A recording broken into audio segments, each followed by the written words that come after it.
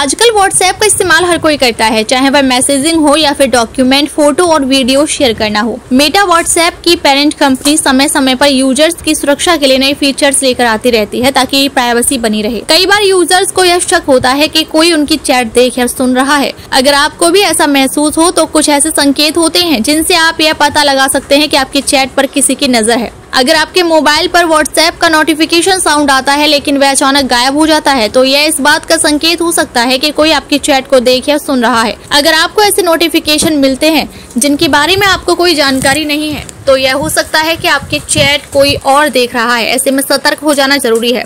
अगर आपको पक्का हो जाए कि कोई आपकी चैट देख रहा है तो आपको तुरंत व्हाट्सएप की सेटिंग में जाकर वेब वर्जन पर क्लिक कर सभी डिवाइस से लॉग आउट कर देना चाहिए। इससे आपकी प्राइवेसी सुरक्षित हो जाएगी। स्मार्टफ़ोन यूज़र्स को अपने मोबाइल में मौजूद फेक ऐप्स की पहचान करनी चाहिए। कई बार ये ऐप्स आपकी जानकारी के बिना आपकी जानकारी चुरा सकती हैं, इसलिए इन्हें तुरंत अनइंस्टॉल करना चाहिए। फेक ऐप्स को हटाने से जो थर्ड पार्टी ऐप्स के ज़रिए जासूसी का खतरा होता है, वह पूरी तरह से खत्म हो जाता है। इसलिए फेक ऐप्स को पहचान कर हटाना बेहद ज़रूरी है, ताकि आपकी चैट सुरक्षित रहे।